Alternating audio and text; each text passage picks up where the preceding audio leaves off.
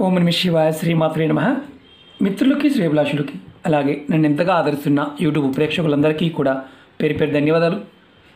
మిత్రులరా మీ అందరికీ పరాదేవత ఎలవెలలా మీతో ఉండి మీ మనోవాంఛ నెరవేర్చాలని మనస్ఫూర్తిగా కోరుకుంటున్నాను. ఈరోజు మనం మంగళవారం సాయంత్రం ఆరు నుండి తొమ్మిది గంటల మధ్య ప్రాంతంలో ఇంటి లోపల వీటిని వెలిగించండి. మీ ధనరాబడి పెరుగుతుంది. నెగటివ్ ఎనర్జీ నుండి బయటపడతారు. ఆశ్చర్యంగా అనిపించవచ్చు. ఈరోజు ఏకాదశి మంగళవారం. ఈ మంగళవారం నాడు మనం ఈ చిన్న పరిహారం చేయటం వల్ల ఫలితాన్ని పూర్తిగా పొందుతాం. ఈ ఉపాయాన్ని మీరు కంటిన్యూగా ఈరోజు మొదలుపెట్టి పదకొండు మంగళవారాలు చేయండి. మీరు ఫలితం మీకు ఆశ్చర్యకరమైన ఫలితాన్ని ఇస్తుంది.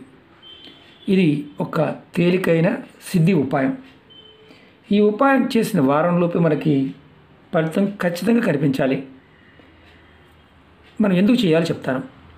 ధన రాబడికి సంబంధించి ప్రతిదానికి అడ్డంకి వస్తూ ఉంటే అంటే ధనానికి సంబంధించిన ఏ అడ్డంకి వచ్చినా మీరు ఖచ్చితంగా ఈ ఉపాయం చేయండి. అవన్నీ తొలగిపోతాయి. అలాగే మీ ధన రాబడి రోజు రోజుకి పెరుగుతుంది. మీకు ధనానికి ధాన్యానికి లోటు లేకుండా ఉంటుంది. అంటే తినడానికి కూడా ఇబ్బంది కలుగుతుంది అనేవారు ఖచ్చితంగా ప్రయత్నం చేయండి. ఎలా చేయాలి? ఏ విధంగా చేయాలి? నేను చేసి చూపిస్తాను. అలాగే మీరు గుర్తుంచుకోవాల్సిన చాలా ఇంపార్టెంట్ ఏంటంటే మాకు ఈ పదార్థం దొరకడం లేదు గురువుగారు అనేవారు చేయమాకండి. మీకు దొరకకపోతే ప్రయత్నం చేయవద్దు. అలాగే కొంతమంది మిత్రులు డౌట్లు అడుగుతున్నారు. మాకు తెలియక చేస్తే ఏమైనా ప్రమాదమా? తెలియక చేస్తే ప్రమాదం లేదు. తెలిసి చేస్తేనే ప్రమాదం. అలాగే ఉపాయానికి సంబంధించిన చెప్పిన సమయాన్ని మాత్రం తూచా తప్పకుండా పాటించండి. అలా కాకుండా నేను ఈరోజు చెప్తే మీరు దాన్ని రెండో రోజు చేద్దామని ప్రయత్నం చేస్తే వచ్చే నష్టాలు మీరు భరించాలి. అలా చేస్తే ఏమన్నా అవుతుందా అని అడిగేవారు ఉంటారు. చేసి చూడండి అనుభవం వస్తుంది. మంచి అనుభవం వస్తుంది. నష్టం వచ్చింది అనుకోండి కామెంట్ చేయండి. లాభం వచ్చింది అనుకోండి కామెంట్ చేయండి. ఎందుకంటే ఖచ్చితంగా కామెంట్ చేయండి.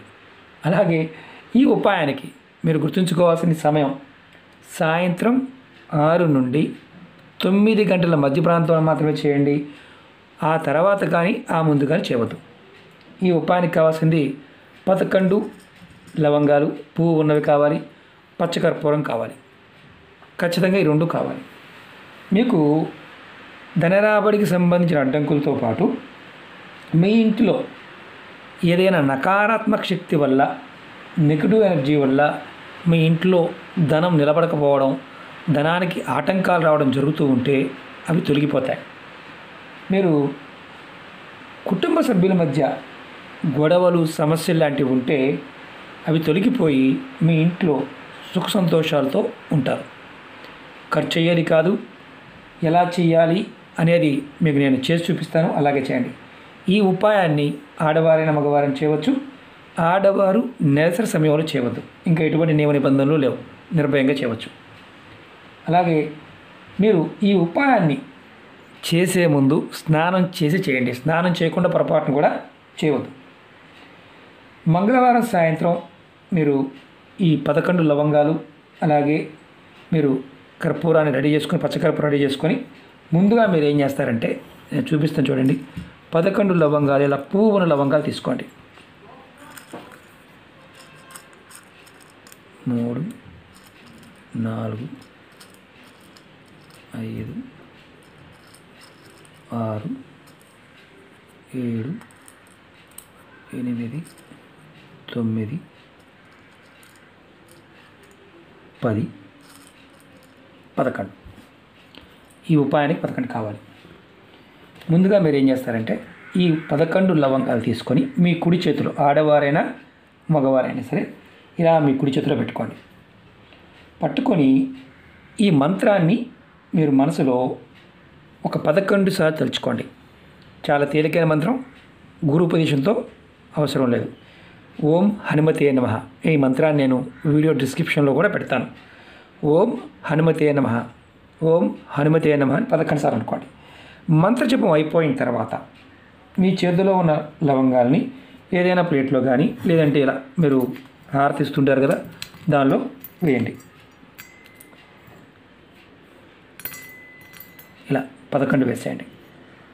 వేసిన తర్వాత దీనిలో కొద్దిగా పచ్చకర్పూరం వేయండి. ఎక్కువ కూడా అవసరం లేదు కొద్దిగా వేయండి. ఇది మీకు చూపించడం కోసం చేస్తున్నాను. మీకు ప్రాక్టికల్గా చేస్తే తేలికగా అర్థమవుతుంది. మీరు దాన్ని ఈజీగా చేయగలుగుతారు.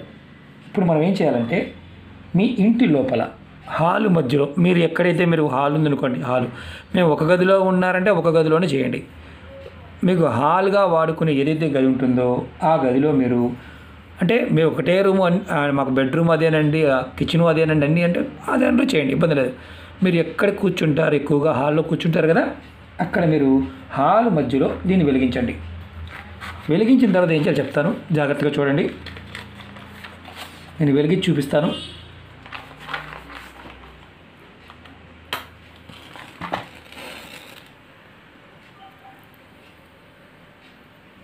దీనికి మాత్రం ఖచ్చితంగా పచ్చకర్పూరమే వాడాలి. మీరు మామూలు కర్పూరం వాడవద్దు. పచ్చకర్పూరం మీకు అందుబాటులో లేకపోతే పొరపాటును కూడా మామూలు కర్పూరంతో చేయవద్దు.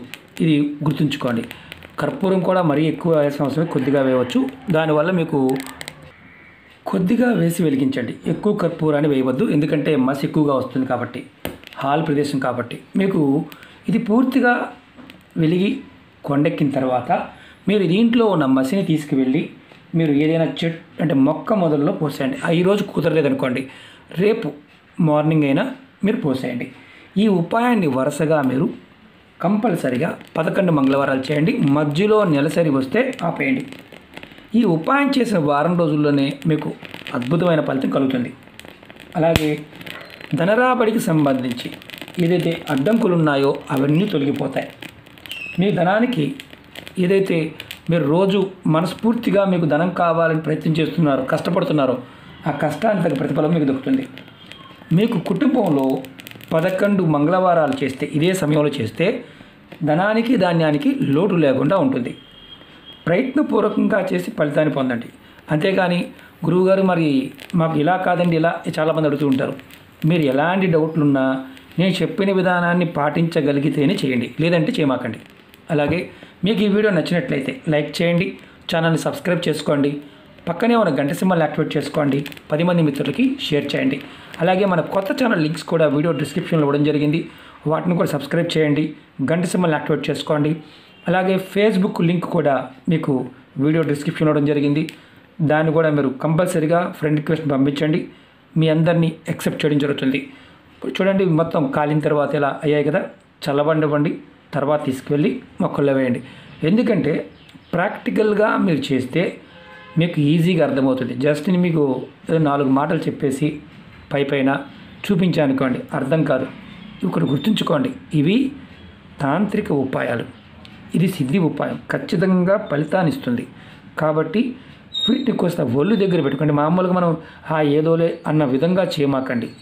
ఇది మనస్సు మన మనసులో ఉన్న శక్తిని మన బాహ్యంగా ఉన్న శక్తిని కూడా ప్రేరేపిస్తుంది.